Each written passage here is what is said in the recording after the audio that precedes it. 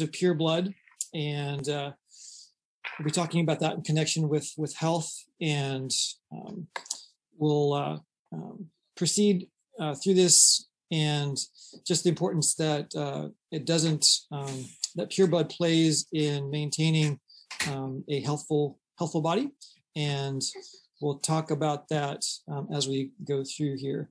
Um, so just a reminder that as you navigate any health challenge, uh, you want to enlist a healthcare practitioner that has a philosophy of health that is similar to your own, um, so that you're not at odds in that regard.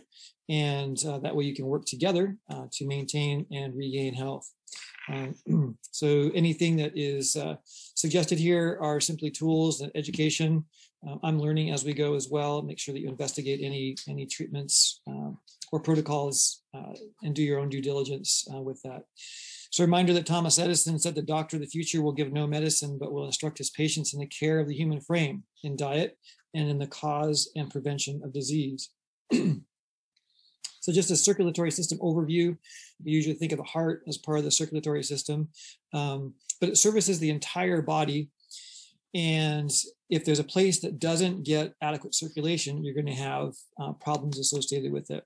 So it delivers oxygen and nutrients to all the different cells and tissues of the body. It removes toxins and cellular, cellular metabolites and byproducts from activity, so waste products.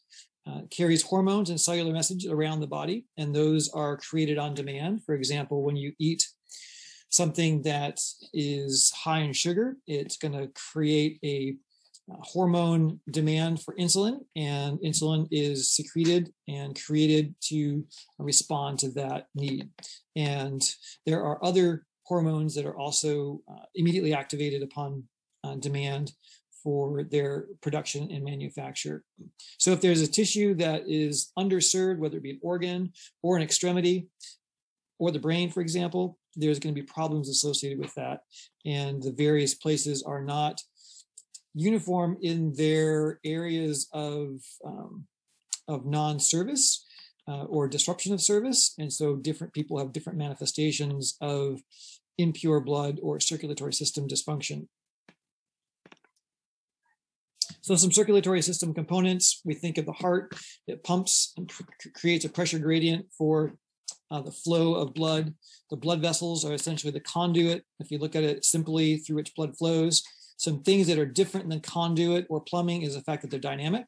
They construct and dilate on demand, so they can increase flow or decrease flow based on need in the body anywhere. Um, the arteries are those blood vessels that carry blood away from the heart. They carry nutrients, uh, hormonal signals, as well as oxygen. Veins are going to be blood flowing um, um, back towards the heart uh, from a different place from where they have delivered their their their um, constituents in the body. So that should say the blood flow back towards the heart.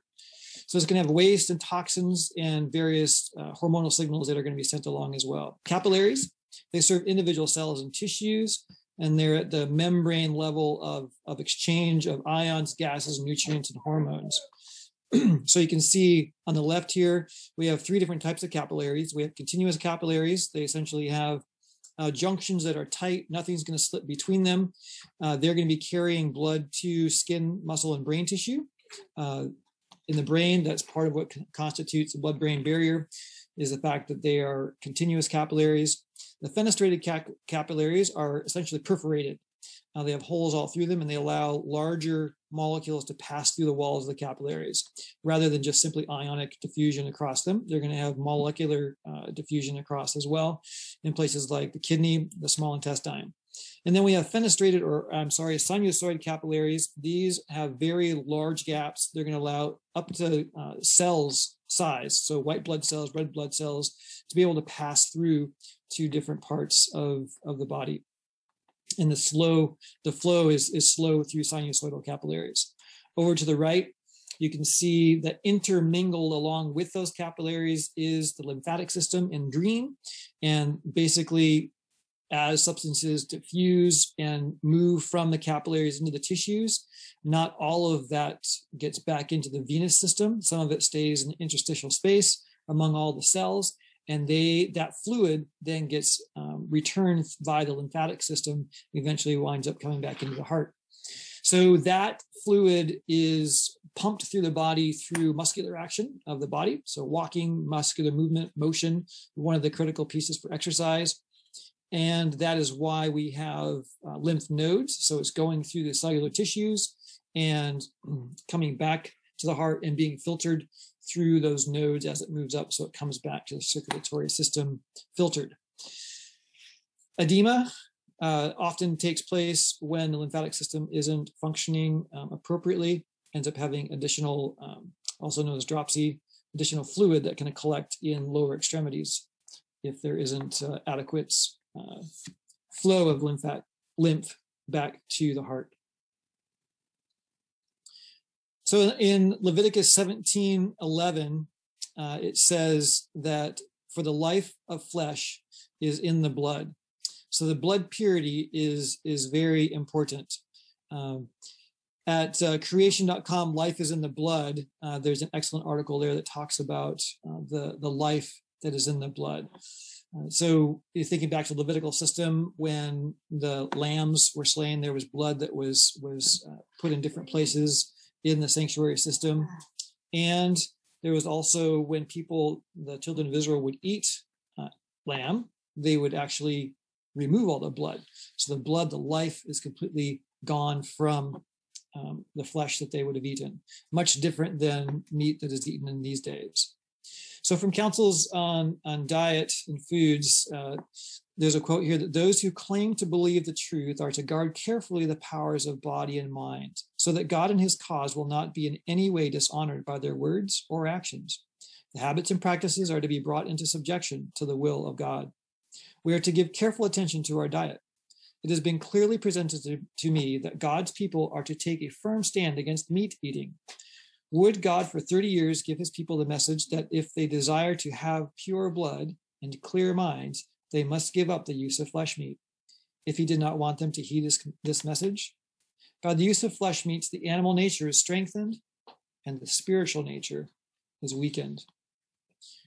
We want to strengthen our spiritual nature and weaken our animal nature. We want to be under the, the will of God and his guidance. Similar, similarly, we have another um, quote here uh, a multitude of women are nervous and careworn because they deprive themselves of the pure air that would make pure blood. And this could be men too, but this is particularly in the context of women, and of the freedom of motion that would send the blood bounding through the veins, giving life, health, and energy. Many women have become confirmed invalids when they might have enjoyed health, and many have died of consumption and other diseases when they might have lived the allotted term of life had they dressed in accordance with health principles and exercised freely in the open air. So this is uh, from Counsels on Health, um, and particularly talking about the the uh, benefit of pure air being essential to pure blood. So we want to have uh, pure oxygen that we're breathing, not pure oxygen, but clean air, and non-restrictive clothing it's not as much of an issue today, but it can be a problem. People wearing tight clothes. Back when this was written, there were many people wearing corsets and other very tight fitting clothes that, uh, particularly women, that constricted the flow of blood throughout the body and caused dysfunction because of that restricted blood flow. So anything, clothing can restrict blood flow. Uh, and it's important to to maintain that uh, surface level blood flow as well. And when we restrict blood flow, it essentially uh, is what we call congestion, and that can manifest itself in different ways. So we usually think of congestion as, as a mucus-based congestion, but that mucus-based congestion can be derived from impure blood in uh, non-serviced areas of the body. So it can actually cause organ level congestion, which over time can lead to organ level disease. One way to improve um, circulation is a foot bath. So for example, if you have a headache, uh, that's due to a circulatory issue on some level in the brain. And by heating the feet up, the red basin there indicates hot water. It's going to draw um, the blood down to the vasodilated uh, feet and uh, away from um, the head and just change the dynamics of the blood flow through the body, keeping the uh, upper areas cool, wrapping the individual in a blanket, uh, and so that's basically the, the underlying basis of hydrotherapy is drawing and moving and, and changing the, the way the blood flows through different areas to allow there to be a greater movement of toxins away from the body and or a particular organ area that isn't functioning um, as it ought to. So here's some different areas of hydrotherapy and aiding blood congestion. Uh, so we have the foot bath again on the upper left here, and the gentleman there uh, with the hot foot wrapped, have a cold wrap. You can do that same thing in a lying position um, in a bed. Um, this is a kind of a full body fomentation, so cold compresses on the head, fomentation on the chest, and then a hot foot bath. Um, and then there's the heating compress that can be done on, on a sore throat. So cold vaso restricts or constricts, and heat vasodilates or opens up the blood vessels to allow uh, greater blood flow in an area.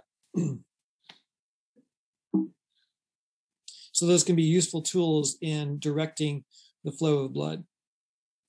Now, some causes of impure blood, uh, essentially uh, a bad diet, a wrong diet, um, constipation, so not being able to rid your body of, of waste through the colon effectively, overeating, can cause impure blood. So essentially, you have too much food to process in between periods of time, uh, or food combinations that ferment in the stomach that can cause a toxic situation as well as an impure blood situation. Devitalized food, which can come from a variety of different sources, um, overcooking it. So on the bottom, bottom lower right here, we have some dead broccoli that was overcooked and also re- refining of grains can do the same thing. So I have some pictures of some seeds here. So corn meal is typically just this outer part here, the endosperm. Uh, it's usually been degerminated. So this is where the vital part of the, the corn is. Same for wheat. So the endosperm is the part that is ground into flour and refined. The germ and the bran are both parts that are nutrient dense. And typically that's that's pulled away along with its various nutrients. And largely that's because of taste factors and longevity of shelf life associated with them without the germ and the endos or the germ and the bran. Um, so going through those different refining processes, polishing uh, and refining, taking the eyes out of potatoes, there seems to be a nutrient rich and dense area in those areas um, that devitalizes food. So it's important to maintain the vitality of the food that, that we do eat.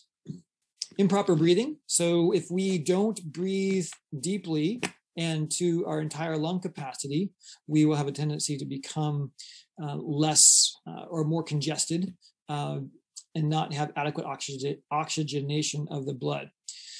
If we also sleep in an inadequately ventilated room, so all the windows tightly uh, closed up, a larger room is better, uh, but you're going to have moisture that's going to be uh, just from your breathing is going to collect in the room. It's best to have good fresh air circulating through the room during a night's sleep. Just helps keep the room from being stuffy because um, that ends up if you're one place for a long period of time, eight hours overnight, lots of carbon dioxide is going to be breathed out. And if you have no air circulating, um, that can cause an impure blood situation a lack of exercise. So exercise is important in moving metabolic waste out of the tissues, uh, particularly aiding the lymph moving back up into and towards the heart because a squeezing of the muscles in the legs squeezes the lymphatic vessels and squeezes lymphatic fluid up the body towards the heart. So basically your muscles, the activity that you're engaging is helps you to fight gravity, not you, but the lymphatic system to fight gravity and push the lymphatic um, fluid back to the heart. So your lymphatic system has valves in it that prevent backflow, essentially like a check valve. So poor beverage choices, any kind of impure water, any alcohol-based um, beverages, uh, sodas, tea or caffeinated beverages. Your, your brain is 90% water, and those things will affect brain function. Also, your emotional state can affect the purity of the blood. So worry, fear, anger, unhappiness, hate, it all alters circulation. And um, if you can give me just a minute here, uh, alters circulation and can have an effect on uh, the purity of the blood. So skin, make sure it's un, uh, uncongested, make sure it's not uh, dirty. It's the largest excretory organ, so it needs to be able to uh, excrete efficiently and then make sure that your emotions are in control. The fight or flight has a has a um, capacity to drive blood to the core of the body um, and uh, shunt the blood away from the surface of the tissues, tissues of the body. Essentially, it prevents it's your body's damage control mechanism uh, to prevent you from bleeding out from cuts, um, but enabling the, the um, organs of essential function to function as they should in an emergency situation. But if we're constantly in a state of emergency, that can have a uh, long-term detrimental effect in our life. Um, so some symptoms of impure blood. So it has a wide range of symptoms that are seen. Uh, pimples, boils, skin discoloration can be a, a, a, sign of impure blood. Jaundice, headaches, drowsiness can be a, a sign of that. Uh, premature aging, wrinkles, insanity, interestingly enough, a short fuse.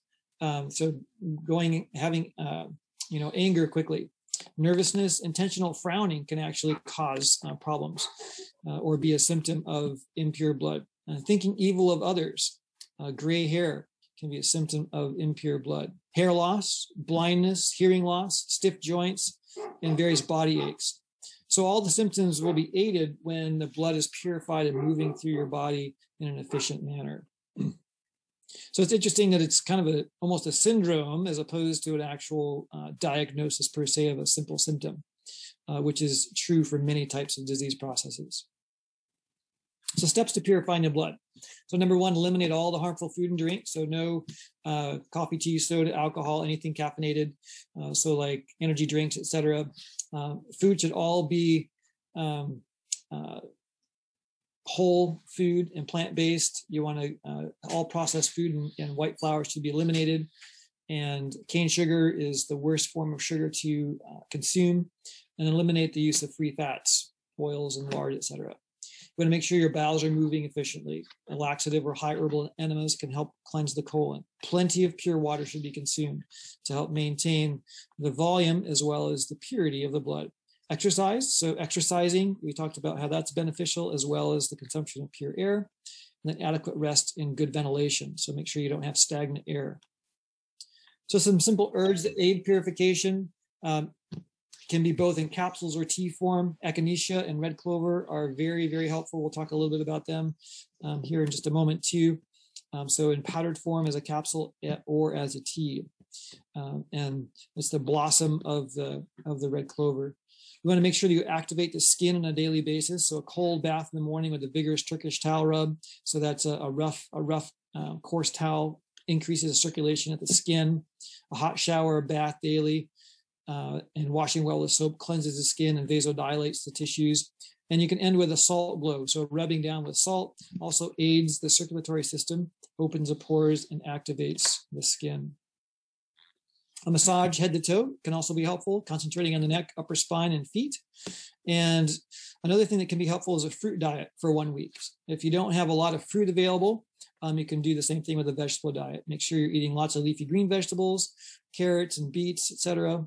Um, you can use the, the veggies uh, raw, grated, or baked. Um, one broccoli stalk properly cooked has more vitamin C than orange juice. So carrot juice is really helpful. Uh, potatoes, you can actually live on potatoes. They did a uh, they did a some research on potatoes and found that they have an adequate nutritional profile that you can live on just potatoes alone. Uh, lots of ways to fix them but they do get kind of boring after a while. So they did add a little bit of flavoring having just potatoes. But uh, it was shown that uh, you could do that without nutrient deficiency. There's actually a lot of vitamin C in potatoes as well. So Ezekiel 47 12 says, The fruit of the tree is for man's food, and the leaves for his medicine. So there's a lot of different blood purifying herbs. Uh, I highlighted a few here um, with the stars that are locally abundant. Um, like dandelion, burdock, chickweed, uh, fireweed is just coming up in our greenhouse right now. Nettle uh, is, is, just fresh out right now. St. John's wort, cleavers, uh, also known as uh, bedstraw or sticky weed, echinacea, white clover, sorrel, red clover is very helpful. Uh, wild Oregon grape, blue flag, and there's some other additional ones too. If if they're uh, present in a locale that you're in, they could be useful in addition. Let's look at chickweed. Chickweed is, is a very common weed in fertile soils. Uh, it's very hard to get rid of, um, but it actually is good to eat. Um, it's good for blood poisoning. Take it internally as a tea or apply externally as a poultice. For example, if you have like um, sometimes you can see the blood poisoning going down uh, a streak in the surface of the skin. You could use it as a poultice on the surface. For the tea, a heaping teaspoon of the chickweed, steep for half an hour in boiling water. So that could be fresh or dried chickweed. And then drink three to four cups a day. Uh, and then a warm cup just at bedtime to help uh, purify the blood. You can also use a powdered form, one to two capsules per day. So chickweed, while being a weed, is also a very abundant and beneficial uh, medicinal plant. Fireweed, very common around the Pacific Northwest. The entire plant is useful. It's good for a, a fever remedy and a tonic, which is just general health, and as a blood purifier. So you can use it for one week at a time, then take a break. And uh, uh, so intermittently use it. It's not something that should be used continuously for a long duration. Uh, it can be used in capsule form uh, along with food. So a tea can be made from a one heaping teaspoon, which is typically the, the ratio that's used in a cup of boiling water. For most any herb, it's one heaping teaspoon. 30 minutes steeped, and then drink it cool, one to two cups a day, just using it at a swallow at a time. And there's actually a lot of different other therapeutic benefits associated with fireweed as well, but we're just focusing on the blood purifying aspects here at this time. Red clover blossom is an excellent blood purifier. Uh, Mrs. White used uh, red clover top tea daily and advocated it. It's a mild, pleasant tasting tea. Can be used in a powdered capsule form in addition to the tea or along with that. Uh, lots of different benefits that we've talked about at a previous uh, presentation, but cancers benefit from it internally and externally, as well as being a blood purifier. So you want to um, wash an external cancer with the tea, and you can drink the tea as water. So you can use it as a, as a topical wash as well as an internal um, application. So that could be helpful for things like melanoma and the like. So harvest those blossoms in the summer, uh, dry and store them through the winter for use until the next uh, harvest season. Dandelion, you can use the roots and leaves of dandelions. It contains 28 parts sodium, so it's kind of like celery in a way. It actually has a fairly um, high level of sodium salts, but those salts are very helpful. The nutritive salts purify the blood and they actually help to alkalize the circulatory system. Your body does a very good job of maintaining the pH of the blood. If it moves out of parameter in, in its uh, pH, you've got problems. Um, so the pH of the blood is actually fairly constant. In order, order to do that, if you're eating high acidic diet, it'll actually buffer that blood with the calcium from your bones. One reason why high protein diets, particularly animal protein, tend toward osteoporotic conditions because the body is constantly having a calcium drain as a acidic buffer of the blood. So as a tea or capsules, you can use the capsules, uh, one capsule three times a day. Echinacea, another good blood cleanser, excellent blood cleanser, also very helpful in blood poisoning. You can use it as a tea form or in a capsule form. It works well when combined with myrrh. Stinging nettle, one of my favorite plants. Uh, while it has the sting, it also has lots of therapeutic benefits beyond blood cleansing, but it's a very good blood purifier, especially the green leaves right now. You can use them in the spring and in the summer, uh, cook them like spinach and just eat them like spinach, and they, they are excellent blood purifiers.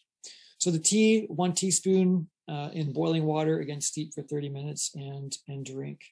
So very um, healthful components to stinging nettle. And then uh, wild Oregon grape, you use the root, a very good blood purifier, and blue flag, which essentially is the blue iris.